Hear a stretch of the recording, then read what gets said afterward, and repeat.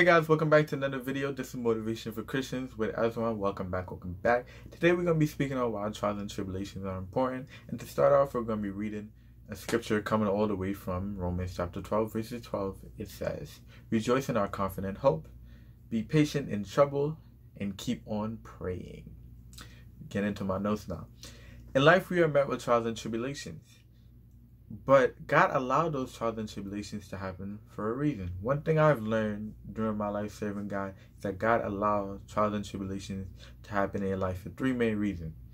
For it to make you stronger, for you to learn a lesson from it, or both. And trials and tribulations do exactly that. You either learn a lesson from it, it makes you stronger, or both.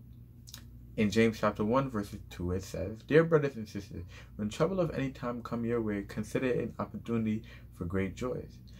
But when trials and tribulations come your way, it may not seem like you're going to learn something from it or it's going to make you stronger.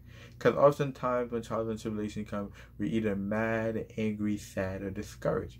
But you always got to remember this God allows stuff to happen for a reason, and there's always something good at the end of your trials and tribulation.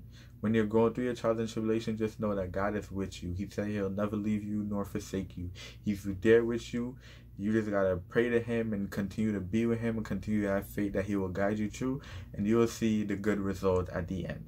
And to end off, First Thessalonians chapter 5 verse 18 it says, Be thankful in all circumstances, for this is God's will for you who belongs to God. God allows stuff happen in your life for a reason. So whenever you're going through any situation, just remember that God is with you, pray to him and just know it. It will be a good end result. And after you get out of that situation, be like, oh, God let this happen for a reason. I either grew stronger from this or I learned something from it or both. That's it for the video, guys. This is Motivation for Christians.